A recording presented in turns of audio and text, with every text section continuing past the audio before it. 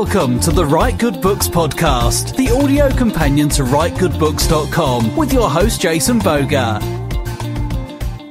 Welcome back to the podcast, everybody. I'm Jason, and I'm joined by our co-host Scott Michael Childers. And it's been a week. How are you? I'm fine this week. How are you doing? I'm doing pretty good. Excellent. I just got back from a uh, a book signing. I signed one. Hopefully, it was yours. Yeah, it was mine. Oh, it was for a reader. so you know, you never know what kind of audience to expect. So it's always fun. Uh, so this week, since we are recording towards the end of November, I hope some of you guys out there and, and girls out there are making good progress on NaNoWriMo. And I'm hoping at the end of the month you'll have a pretty solid first draft. So we're going to talk about first drafts, how we get there, and our different methods of writing them. Yeah, this podcast is a first draft, This apparently. is as I stutter through the dialogue. Yeah, and I think maybe we kind of touched on first drafts and our methodology in previous ones. Mm-hmm. Yeah, we talked about like discovery writing and outlining and stuff. Yeah, but- yeah, but we're going to really focus on our methods Mm-hmm. because they are different. You know, Jason and I don't write the same way. And like we don't write the same material, we don't write, our methods aren't the Yeah, same. and most people probably don't. Yeah, and your methods may be different than ours, and we'd love to hear them too. Uh, share them in the comments of your of various places. If you have a interesting first draft method, if it involves yoga, I don't know if I want to hear it, but okay. so let's get started. Which one? Which one should start? Well, I'll talk a little bit. You know, though, I kind of do different types of stories differently. Okay. Well, You know, if I'm writing a, a f- flash fiction story, I'll do a first draft in one night, and I'll usually have it planned out how it's going to go. And so then I really will use a pretty strict outline. okay. If I'm writing a short story of like three to five thousand words, I might do a little more um, discovery writing and just kind of have a character in mind and see where I end up and see what happens. Okay. For novels, I'm all over the place, and maybe we'll talk about that later. Okay. What about you? for me, no matter what type of writing I'm doing, whether it's flash fiction, novel, the 300 word newsletter article I do for for work, it's just brain dump. Really, I'm just getting the ideas out of my head onto the screen, or you know, if I happen to be using paper, which I rarely do, but from my brain through my fingers to the keyboard onto the screen, and I produce a ton of words they're not all good words. I don't expect them to be good words. I expect to be just getting the raw material on there on the screen, and then I do heavy edits for my second draft.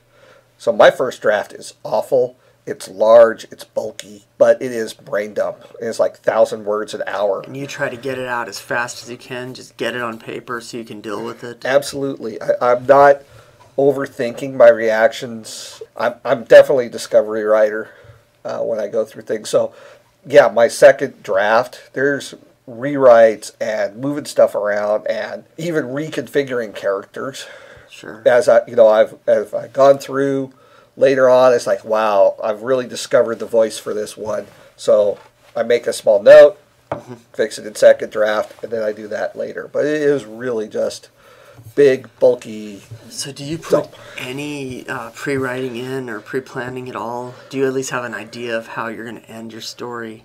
Depends. Depends. There are some stories where I, I want to go on a particular journal journey. And you know, since I do a lot, it, it- like nonfiction, of course, I definitely I'm not making things up as I go along, heavily researched and that type of thing. But when I'm doing historical fiction, I have beats I know I have to follow mm-hmm. because of the sequence of real life events. Okay. So I know I have to hit certain certain things at certain times to take advantage. Okay. Those are the So you might discover right to that point. to that point and then to the next point. And when I'm doing, you know, other things like genre fiction, mm-hmm. sci-fi, fantasy, I'm just along for the ride. Okay, that's cool. That's fun. That's how I used to. I, I used to only write that way because I mm-hmm. thought if I know what's going to happen, I'm going to get bored writing it. Yeah. Now, now I'm I'm more of an outliner now. But I, I mentioned flash fiction. So with with flash fiction, on theme of absence, I always view the ending as the mm-hmm. the most important part of flash fiction. You know, it's thousand words or less. So I'll I won't start flash fiction unless I know how it's going to end, and then I'll Yeah. just write to that end and throw that twist or that punch out. Short stories, I'll I'll look more at a character or a setting, and then I'll kind of maybe discover right, maybe outline, but I'll come up with something on that setting. But but we're not really talking about story building. We're talking about first drafts. Mm-hmm. So I guess I I can't do a thousand words an hour on a first draft, but that's really I think a good goal to shoot for is really just get it out there and don't self edit. See, and that's my problem. I still will put too much thought into it because I'm lazy and I don't want to do it later. I don't know if that. and, and that's the thing. It mm-hmm. kind of depends on where your brain is. If you have a brain, or if you have a brain, I sorry. paused at the really wrong time.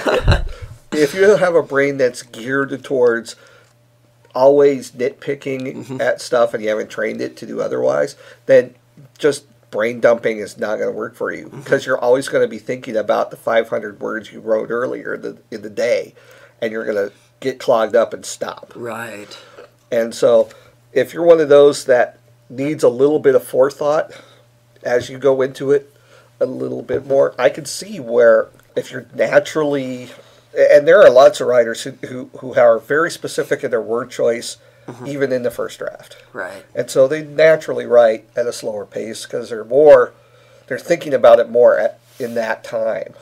Whereas me, word choice comes later after I've established characters and voices Yeah. and stuff like that. So you might not have a problem using simpler oh, yeah. simpler language or maybe even what I'll do sometimes I'll just put like parentheses around something and say you know write this out later but here's Oh, what happens and that's a good method for dra- first drafts Yeah, my word choice changes between revisions, uh, and that's where I become. After I've done that first draft Mm-hmm. of whatever I'm doing, I know I know what voice I want to use Mm-hmm. in narration and characters, and then that informs my revision process Yeah. and, and changing the words. you know I, I discovered wrote my first novel on NaNoWriMo and yeah you really you learn your character you get to know your character as you write it and Yeah. then you can If you're discovery writing, Yeah. yeah, definitely. to go back to NaNoWriMo I mean that's what it's for you just get those words out and Yeah. you, you have to train yourself to do that and not self-edit not overthink things just Yeah. get it out there Now, eh, some of our listeners, they may be world builders, Mm-hmm. and so they do like you were talking about pre-work and stuff. Ton of pre-work. They already know the characters. They know the voices. Mm-hmm. They know the scenes. They have vivid pictures of the scenes in their heads. right They're not going to use my method. yeah You know, they're not going to write like I write, where I I discover that through the writing Mm-hmm. process. They've discovered it already in their pre-work. What you do with a brain dump into a story into a first draft, some people might do that into an outline. Absolutely. And that's I've been leaning that way in my later years. Yeah. but But there's some people who their basic story building they structure, mm-hmm. right? And I there are some things where I'll snowflake or snowball, mm-hmm. simple outline, boom, and then I add words. yeah. And then there's other times where it's like it's a lump of clay and I take out. Oh sure. So it just kind of depends. I write until I feel the story's done. Mm-hmm. I'm not worried about words, word count. I'll fill or edit. Yeah, Later. that's that's a good point. If you're if you're discovery writing a short story, you don't necessarily need to say this flash fiction, this is not flash fiction, this is a novella. Yeah, and so, Yeah, you might let the story end where where the story wants to end. Yeah, yeah, and, and you know, I'm not saying I'm the only way. Heaven forbid, because I I have to invest a lot of work in that mm-hmm. second draft. It's twice as much work. Yeah, in second is. draft I- than first draft. Yeah, I have I have one novel. I, I discovery wrote the whole thing, and once a year I pull it out and try to clean it up, and I just can't, and it goes back in the file till next year. But it's interesting how you know now the other well, one of my current work in progress. All I'm doing is planning and outlining and character profiles and setting descriptions. Then I sit down to write it. I write. I think I wrote you know 800 words or whatever and i read those words and say oh my lord this sucks it doesn't matter how much pre-planning i did this is bad prose so i'm still doing a first draft even though i had all this stuff planned out Oh, yeah. beforehand and it's Well, you don't know how to edit something until you've written it the yeah, first until time. it's done. So yeah, regardless of how prepared you are, you're still writing a first draft. Yeah, I mean, you listen to us talk. Some of this, these ideas sounded good in our head, and then we actually say them. And Yeah. no, I'm just kidding. It's fun though. You know, everybody does take a different approach. Like Stephen King in his book, he's never outlined, never pre-planned, just write, do a thousand words a day until it's done, and clean it up later. Mm. Of course, he pays people to clean it up for him later, so he can say that. Oh, that'd be nice. But yeah, but then then I know other people who will pull out the hero's journey and word for word plug in that plot before they Oh. write a single word. Yeah, and here's the thing: if you end up with flash fiction or short story or book or whatever, who am I to say that your method is right or wrong? Really, Right. It- you know, it, it, it's one of those things. There are many paths to get there, Mm-hmm. and you get there. Some take longer than others, some don't. But The that- one the one benefit is, you know, when you do get that first draft done, you have something to work on. You can stop. Well, someday I'm gonna finish a book, yeah, yeah, you've got that first draft done, and and, uh, nobody has to see it. yeah, So it can be as bad as you want. It can be it's full of, you know, don't write out scenes. You can summarize things or whatever. Just yeah, get it done and type the end. Draft number one complete. Yeah. Well, and, and there are some times when and we talked about writer's block mm-hmm. in the past, right? So, depending on your first draft style, you may never have writer's block if you just are the type to come in and just plow through mm-hmm. because you know I'll fix it. I'll fix it later. Yeah.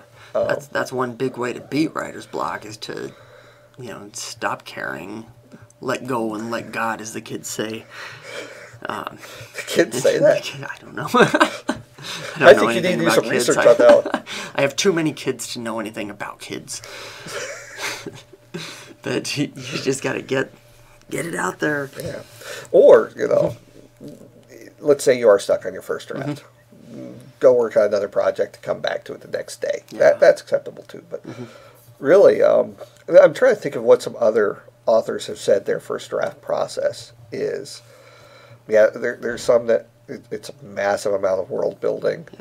And the first draft process is very, they're outlined, they're You structured. know, I, I, I remember Brandon Sanderson saying that he does so much pre-planning that you know a lot of the editing is done with the first draft, so he doesn't have as much Yeah. revision at the end. So, you know, or it might be the opposite where you have no planning, then you have tons and tons of clean up. It's, And it's got to be what works for you and what makes your product as good as it can be. Yeah. How much time you want to invest in that second phase, I think. Yeah. And for me, I, I much prefer the editing. You know, I've had some things where I've cut half of what I've written and then restructured the other half. Yeah. Um, Cleanup is so hard. Well, maybe in part. Maybe. And that's another thing. We all write differently. We all revise differently. Yeah. So, so what do you think? Have we hit the Well, end? Uh, real quick, what do you use for software? uh, I think we've mentioned this You before. I, I, I use Scrivener, You do use Scrivener too. Okay. Yeah, Yeah, I- me too. I well, use- sometimes.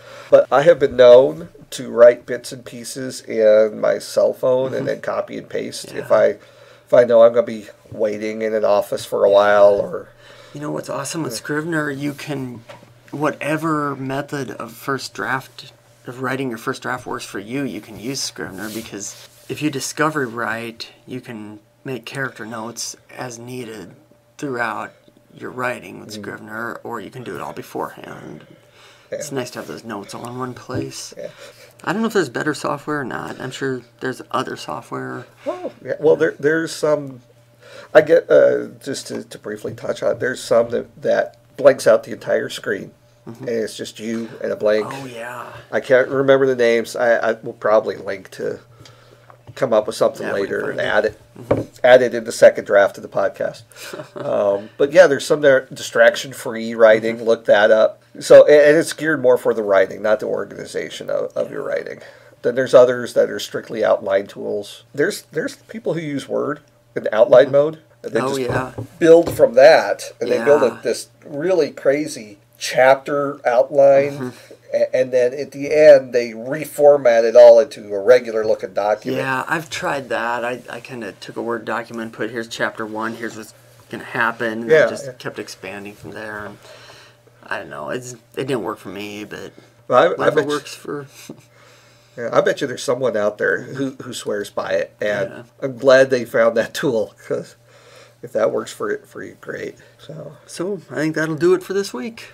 Yeah, I think we've hit our word count for the day. Okay. So if you'd like to support us, you can check out our Patreon page at patreon.com slash writegoodbooks, and you can visit us on the web at writegoodbooks.com slash podcast. And thanks for listening. We'll see you next time. We'll see you with the second draft.